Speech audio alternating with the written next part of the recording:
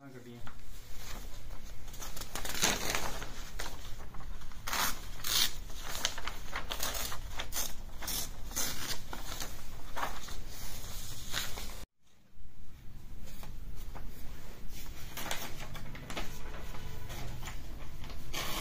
ਤਿੰਨ ਸੌ ਸੱਤ ਹੈ ਹਾਂਜੀ ਸਰ ਸਰ ਕੀ ਮਾਮਲਾ ਜੀ ਇਹ ਆ ਮਾਮਲਾ 1 ਦਸੰਬਰ ਨੂੰ ਆਪਾਂ ਇੱਕ ਐਫ ਆਈ ਆਰ ਲਾਂਚ ਕੀਤੀ ਸੀ under section 376 and POCSO 2 3 and 4 ਜਿਹਦੇ ਵਿੱਚ ਇੱਕ ਮਾਮਲਾ ਉੱਪਰ ਕੇ ਸਾਹਮਣੇ ਆਇਆ ਹੈ ਕਿ ਇੱਕ ਪ੍ਰਦੀਪ ਕੁਮਾਰ ਦੇ ਲੜਕੇ ਨੇ ਇੱਕ ਲੜਕੀ ਦਾ ਰੇਪ ਕਰਤਾ and she was pregnant 3-4 months ਤੇ ਇਮੀਡੀਏਟਲੀ ਆਪਾਂ ਕਾਰਵਾਈ ਕਰਦੇ ਹੋਏ ਐਫ ਆਈ ਆਰ ਲਾਂਚ ਕੀਤੀ। ਲਾਂਚ ਕਰਨ ਤੋਂ ਬਾਅਦ ਆਪਾਂ ਮੌਕੇ ਤੇ ਰੇਡ ਕੀਤੀ ਦੋਸ਼ੀ ਦੇ ਘਰ। ਤੇ ਪਰ ਮੌਕੇ ਤੋਂ ਦੋਸ਼ੀ ਘਰੋਂ ਭੱਜ ਚੁੱਕਿਆ ਸੀ। ਥੋੜੇ ਦਿਨ ਬਾਅਦ ਜਦੋਂ ਆਪਾਂ ਉਸ ਦਾ ਫਾਲੋ ਅਪ ਲਿਆ ਤੇ ਕਈ ਚੀਜ਼ਾਂ ਸਾਹਮਣੇ ਆਈਆਂ ਕਿ ਇਸ ਕੇਸ ਦੇ ਵਿੱਚ ਉਹਦੇ ਛੋਟਾ ਬ੍ਰਦਰ ਤੇ ਉਹਦੀ ਮਾਤਾ ਵੀ ਮਤਲਬ ਸ਼ਾਮਲ ਹਨ।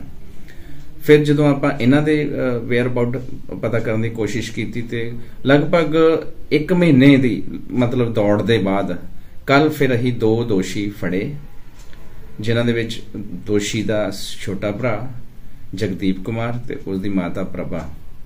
ਉਹ ਆਪਾਂ ਕੱਲ ਫੜੇ। ਮਤਲਬ ਮੁਖਬਰ ਨੇ ਦੱਸਿਆ ਕਿ ਅੱਜ ਉਹ ਖੜੇ ਇਸ ਜਗ੍ਹਾ ਤੇ ਜਾਣ ਦੀ ਤਿਆਰੀ 'ਚ ਹੈ ਤੇ ਮੌਕੇ ਤੇ ਜਾ ਕੇ ਤੁਸੀਂ ਫੜ ਸਕਦੇ ਹੋ।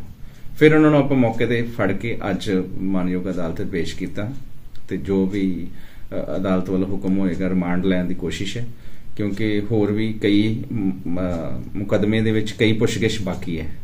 ਜਿਸ ਕਰਕੇ ਅਗਲਾ ਜੋ ਹੁਕਮ ਹੋਏਗਾ ਉਹਦੇ ਮੁਤਾਬਿਕ ਕਾਰਵਾਈ ਹੋਏਗੀ।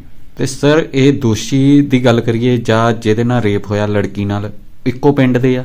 ਹਾਂ both are from same village ਦੋਨੋਂ ਇੱਕੋ ਪਿੰਡ ਦੇ ਆ। ਸੇਮ ਇੱਕੋ ਪਿੰਡ ਦੇ। ਹੈਗੇ ਆ।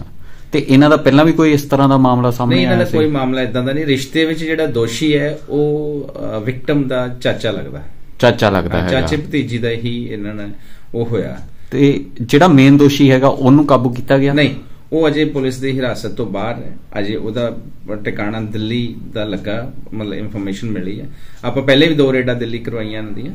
ਹੁਣ ਫਿਰ ਪਤਾ ਟਿਕਾਣਾ ਜਿੱਦਾਂ ਹੀ ਕਨਫਰਮ ਹੁੰਦਾ ਫਿਰ ਆਪਾਂ ਉਸ ਤਰੀਕੇ ਨਾਲ ਅਗਲੀ ਤਫਤੀਸ਼ ਅਮਲ ਚ ਲਿਆਵਾਂਗੇ। ਤੇ ਸਰ ਜਿਹੜੀ ਲੜਕੀ ਦਾ ਰੇਪ ਹੋਇਆ ਉਹ ਨਾਬਾਲਿਗ ਹੈਗੀ ਆ? ਹਾਂ she is ਨਾਬਾਲਿਗ she is 14 years old only 14 ਸਾਲ ਦੀ ਹੈ ਇਕੱਲੀ ਹੈ। ਤੇ ਹੁਣ ਕੀ ਕਾਰਵਾਈ ਕੀਤੀ ਜਾ ਰਹੀ ਹੈਗੀ? ਕਾਰਵਾਈ ਇਹਨਾਂ ਨੂੰ ਫੜ ਕੇ ਆਪਾਂ ਜੋ ਅਦਾਲਤ ਕਰੇਗੀ ਆਪਾਂ ਇਹਨਾਂ ਨੂੰ ਸਾਡਾ ਕੰਮ ਇਹਨਾਂ ਨੂੰ ਫੜ ਕੇ ਮਾਨਯੋਗ ਅਦਾਲਤ ਦੇ ਸਾਹਮਣੇ ਪੇਸ਼ ਕਰ ਦੇਣਾ। ਉਹਨਾਂ ਦਾ ਕੰਮ ਅੱਗੇ ਜੋ ਟ੍ਰਾਇਲ ਚਲਾਉਣਾ ਕੇਸ ਦਾ ਉਹਦੇ ਵਿੱਚ ਜੋ ਸਜ਼ਾ ਹੁੰਦੀ ਇਹਨਾਂ ਨੂੰ ਵੱਧ ਤੋਂ ਵੱਧ ਸਜ਼ਾ ਕਰਾਉਣੀ ਸਰ ਜੇਕਰ ਗੱਲ ਕਰੀਏ ਇੱਕ ਲੜਕੀ ਨਾਲ ਉਸਦੇ ਚਾਚੇ ਵੱਲੋਂ ਇਸ ਤਰ੍ਹਾਂ ਦਾ ਕੁਰਕਰਮ ਕੀਤਾ ਗਿਆ ਕੀ ਕਹਿਣਾ ਚਾਹੋਗੇ?